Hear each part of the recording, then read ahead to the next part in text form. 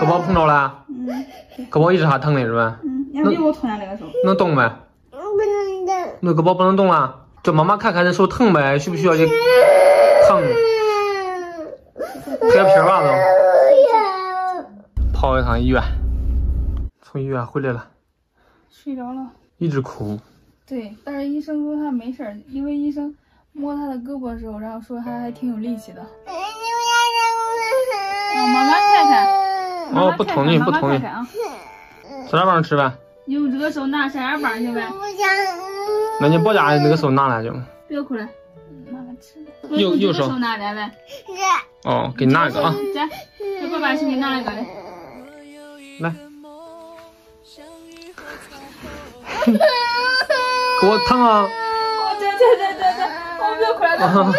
不哭了，不哭了。你这样动动行呗？那你动一下，你看我嘞。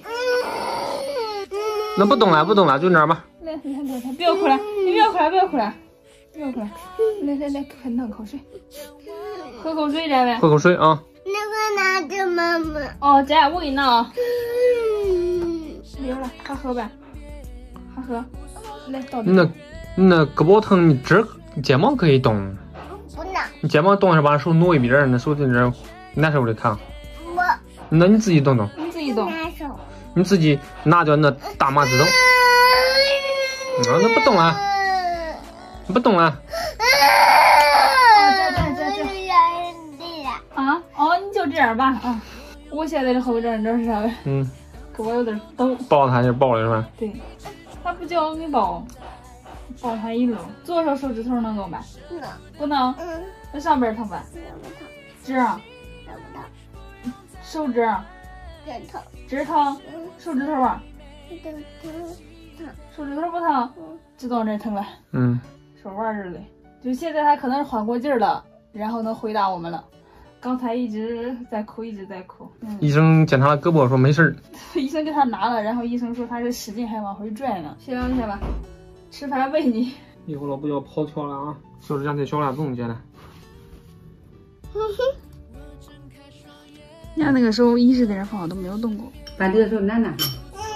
喂喂他吧，他非愿意走过来，就得走过来。吃饭。比刚才稍微好点儿了，现在手指头该稍微动动了。嗯。不要。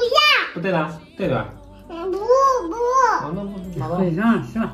乐乐现在就是长大一点了，隔三差五的就受伤。之前摔过，这一次呢可能是扭到了，应该是扭到这个手腕了。刚开始的时候呢，乐乐是一直在哭，一直哭，然后也不让我们动他的胳膊，就带他去医院里面去检查了一下，看看他有没有骨折，或者是我们老家话说这个胳膊掉了。然后到那边医生呢就是给我们看了看，建议就是让我们今天晚上呢回家再观察一下。